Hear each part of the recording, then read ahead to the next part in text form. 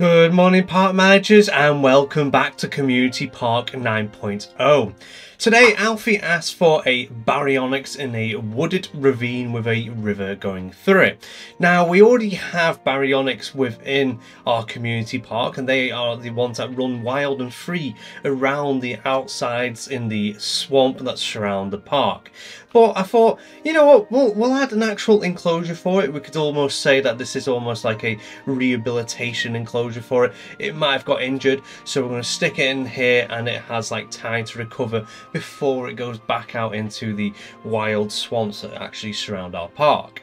So the way I was going with it, I did want like the river going down the middle, which then leads to a bank, which then goes all the way up to the gate where the staff can get in, and as well as probably the area where they like introduce the baryonyx into the enclosure.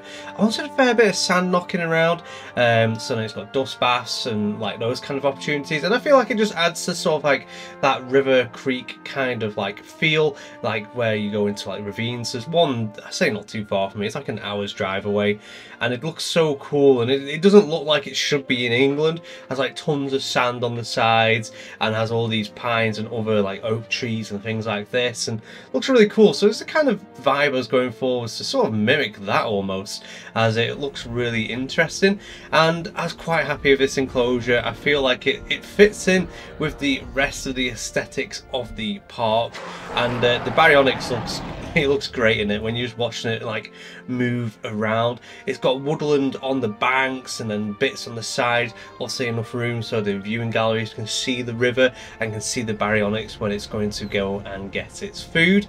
But yeah, I really enjoyed making this enclosure.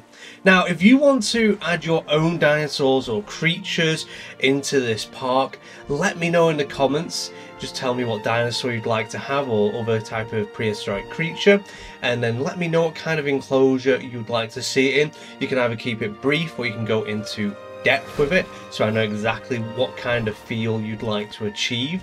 And uh, yeah if you want a particular skin pattern and colour let me know that. Even if you want to give it a name I'll even do that part as well.